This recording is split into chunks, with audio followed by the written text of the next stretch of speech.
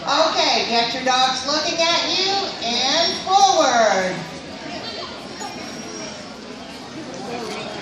Look how nicely these dogs stay at their handler's left side, paying attention. And about turn. They can change direction and stay at their handler's left side. Slowly. They can change pace, stay at the handler's left side, and normal. And sit your dogs. it does help if the dogs can see.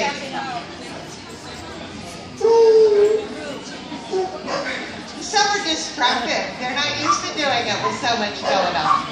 And call your dogs. Call your dogs. Called. Notice how promptly they sit at the dog at the handler's left side. Most of them. Some of them need some help. And sit, stand, or down your dogs. Sit, stand, or down your dog. Your choice.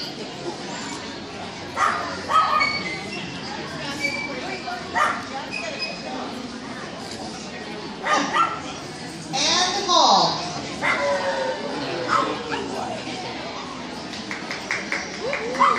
We're going to do one more just so that you can get a good visual and notice how the dogs have to slow down and speed up as they go around. Okay, get ready and forward.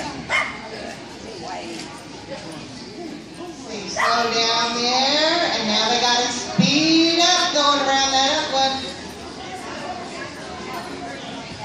And fall. Exercise thing. Oh, look at that straight line. That's pretty good, guys. Keep going. We got to make it all the way around. One time around. Keep going. Keep going. Keep going. Whoa. And the ball.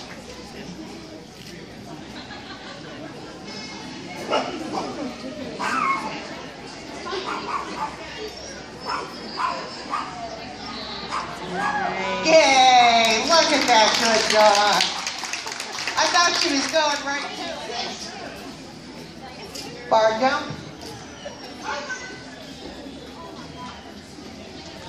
Yay!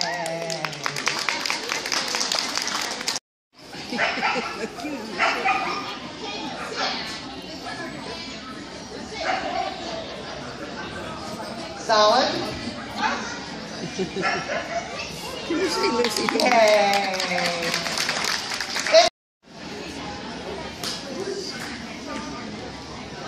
Send your dog. I think we had an eager beaver over there in our retriever dog. Uh-huh. Take it. Finish.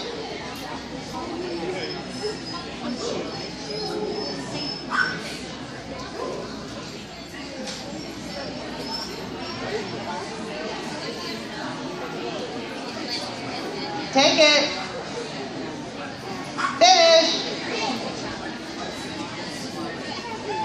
Now you'll notice that more novice dogs, the handlers are going to stay on leash with their dogs out front, and they're going to stay in front of their dogs, whereas the more experienced, the handlers are walking all the way around the room and the dogs have to stay where they are.